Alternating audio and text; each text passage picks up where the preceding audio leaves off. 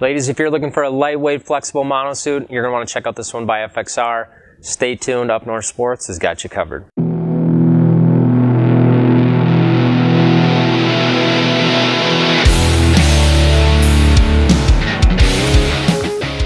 Hey ladies, Matt and Whitney here with Up North Sports.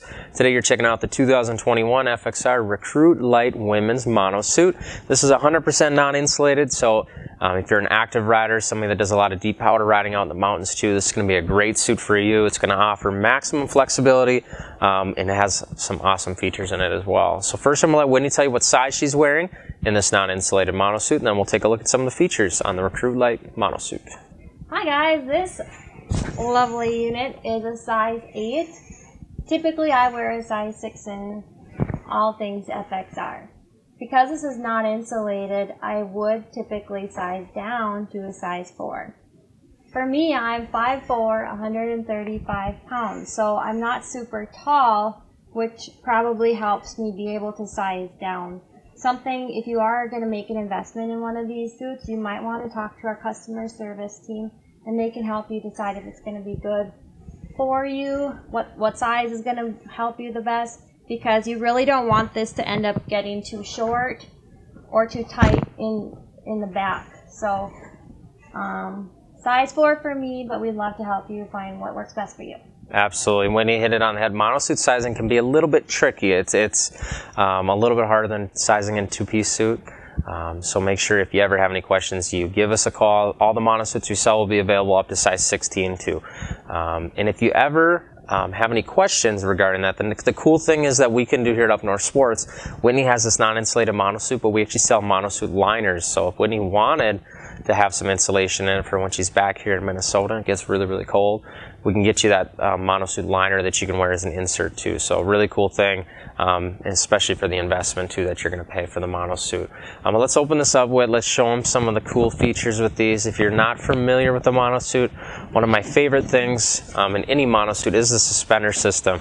That's really going to help distribute the weight of the suit and uh, it's not going to feel so sluggish on your shoulders and stuff. And Whitney did mention too, one of the biggest things, and, and I'm the same way, you don't want to feel like you have a ton of constriction in your shoulder blades. And so that's another thing when you're looking at the sizing, make sure um, you're going to want to find it so it's not tight in your shoulder blades too.